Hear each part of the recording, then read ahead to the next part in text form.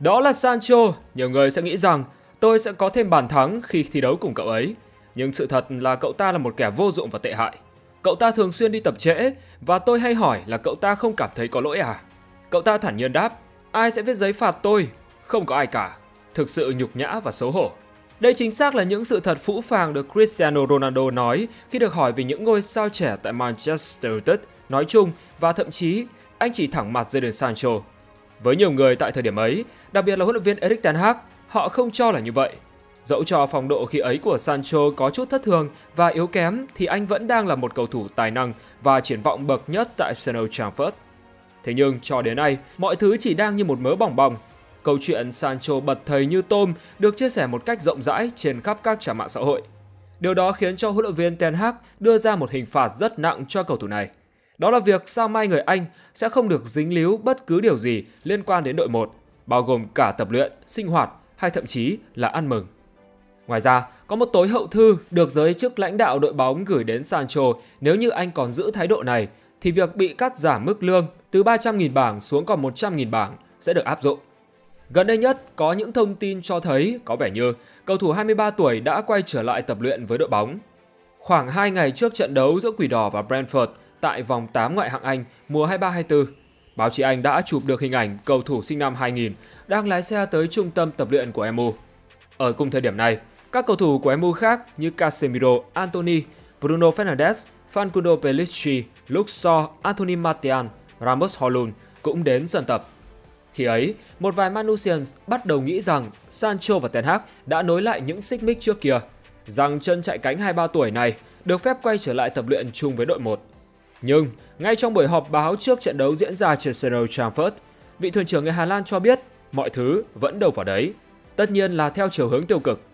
Câu trả lời như cú tát đau điếng vào sự lì đòn và sự nhạy cảm của Sancho. Tôi rất lấy làm tiếc rằng tình hình vẫn chưa có gì thay đổi cả. Vì thế nên Jadon vẫn chưa được điền tên vào danh sách đăng ký thi đấu ở trận đấu tới. Trang chủ MU dẫn lời Ten Hag. Dẫu biết việc phản thầy cũng không phải có gì quá ghê gớm, nhưng hành vi sau đó mới chính là điều khiến cầu thủ đó bị ảnh hưởng.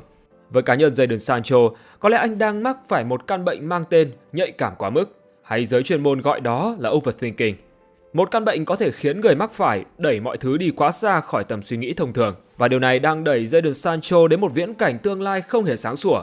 Bị tống cổ khỏi sân Old ngay kỳ chuyển nhượng mùa đông sắp tới. Không để quý vị phải đợi lâu. Ngay sau đây, hãy cùng yêu bóng đá Nam Go đến với câu chuyện liên quan đến Jadon Sancho, nhân vật chính của chúng ta ngày hôm nay. Nhưng trước đó, các anh em khán giả của kênh đừng quên để lại một like, một subscribe và nhấn vào nút chuông thông báo để không bỏ lỡ bất kỳ sản phẩm nào của kênh nhé.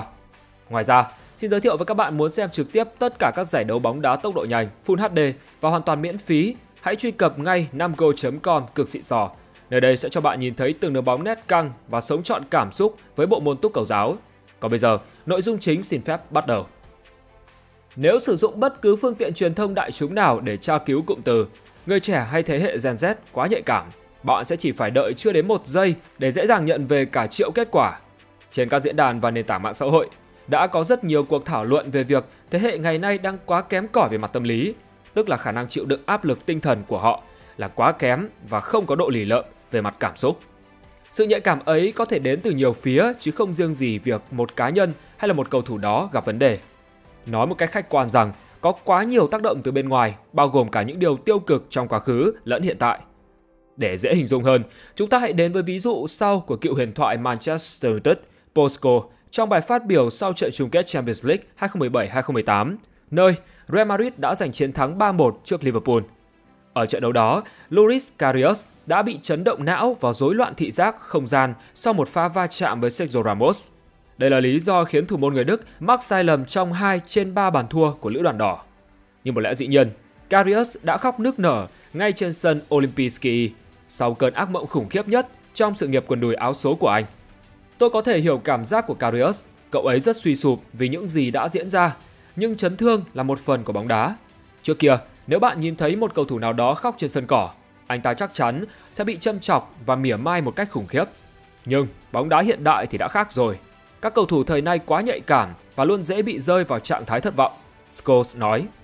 Chính vì sự phát triển và thăng tiến vượt bậc của những cầu thủ thuộc thế hệ Gen Z mà Erik ten Hag đã phải dùng rất nhiều cách để chiều bình, khích tướng họ.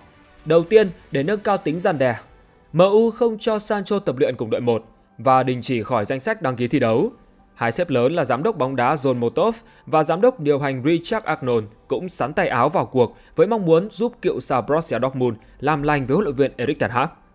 Khoảng hơn một tuần sau án phạt trên, Talksport đưa tin ba cầu thủ đồng hương của Sancho ở MU là Marcus Rashford, Luke Shaw, Harry Maguire đã động viên người đàn em sinh năm 2000 của mình nhận lỗi với cựu thuyền trưởng Ajax Amsterdam.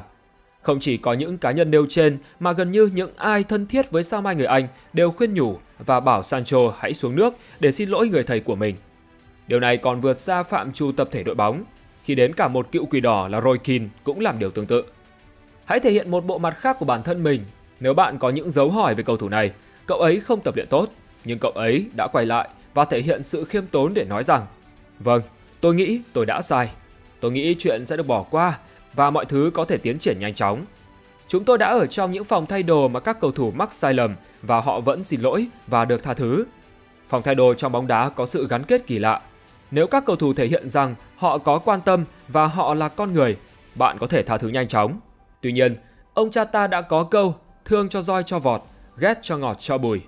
Nếu Sancho chịu hạ cái tôi cao ngút của mình xuống mặt đất để nghe lời những nhân vật ở trên, chắc chắn những dấu hiệu tích cực sẽ đến với số 25. Ví dụ dễ thấy nhất là câu chuyện được tập luyện cùng đội 1 và được thi đấu trở lại một cách đều đặn hơn.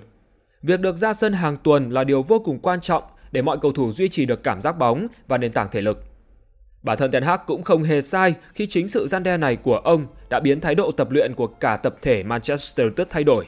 Không còn sự cợt nhả nào trong tập luyện nữa, đi muộn cũng không, tập thiếu chuyên nghiệp càng không nốt. Và nhắc về những cái thứ ấy thì trên mạng xã hội, hình ảnh Sancho đang tập chống đẩy một cách vô cùng hời hợt được lan truyền rộng rãi. Làm thế nào mà bạn có thể đứng nhìn một sao mai tiềm năng và đặc biệt còn nhận hơn 300.000 bảng một tuần, thi đấu và tập luyện như vậy? MU cũng đã bất lực đến nỗi phải để Sancho bế quan tỏa cảng, tu luyện bằng cách cho anh ta ra khỏi thành phần đội 1. Họ đã rất cố gắng để giúp cầu thủ mang áo số 25 hiểu ra rằng mình sai ở đâu và nên xin lỗi như thế nào. Từ hình phạt nặng của câu lạc bộ cho tới lời khuyên bảo từ các đồng đội của bậc tiền bối Roy Keane và cả những người ngoài như PFA. Tất cả đều chỉ muốn cải thiện tình hình, nhưng Sancho thì vẫn vậy.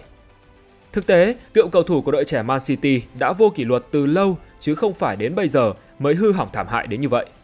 Theo tờ Atlantic tiết lộ, ban huấn luyện MU từng yêu cầu Sancho đến sân tập sớm hơn một giờ đồng hồ vì anh thường xuyên đi muộn và dùng cái cớ bản thân mắc chứng trầm cảm dẫn đến khó ngủ. Nhưng cách làm này của Ten Hag và các cộng sự chỉ có hiệu quả trong thời gian đầu.